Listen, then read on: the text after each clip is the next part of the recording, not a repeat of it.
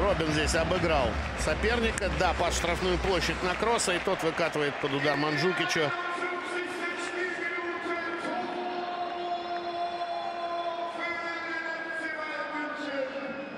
Один ноль.